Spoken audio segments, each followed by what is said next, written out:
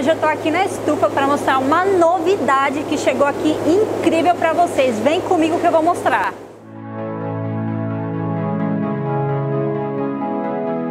Galera, é difícil de vir e quando chegar aqui na Aquática Brasil eu tenho que mostrar para vocês.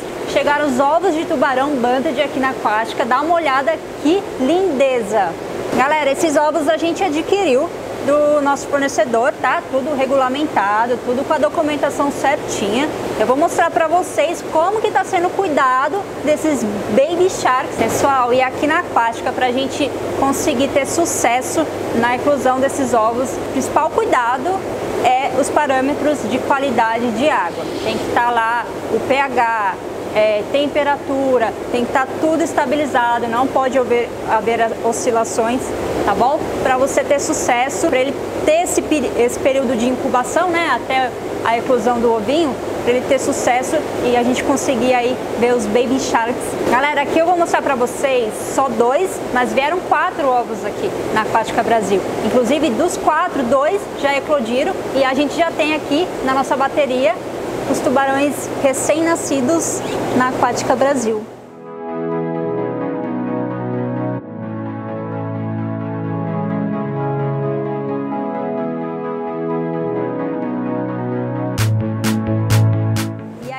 Depois que nasceram os tubarões, a gente precisa cuidar da alimentação deles, que acaba sendo o principal agora depois do nascimento. A gente sabe que quando no ovinho, o tubarão está se alimentando do saco vitelíneo. Assim que ele termina de se alimentar, ele eclode e sai. Agora, a gente precisa cuidar da alimentação, é, é o principal para a gente conseguir fazer com que esse tubarão cresça e desenvolva.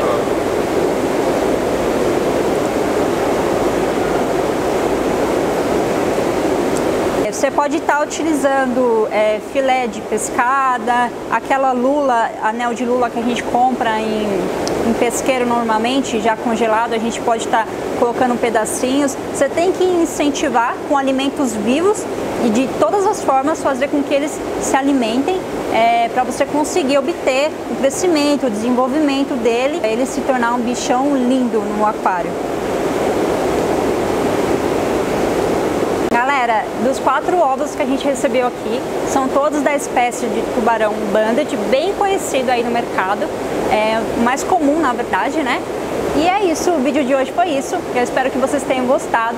Sempre que aparecer alguma novidade, a gente vai estar sempre mostrando para vocês, para vocês conhecerem aí um pouquinho mais de tudo que tem na nossa estufa. Continue seguindo, é, deixe o seu like se você gostou do vídeo, deixe o seu comentário se você tem alguma curiosidade, alguma dúvida também. Segue a gente nas redes sociais e é isso, galera. Obrigado!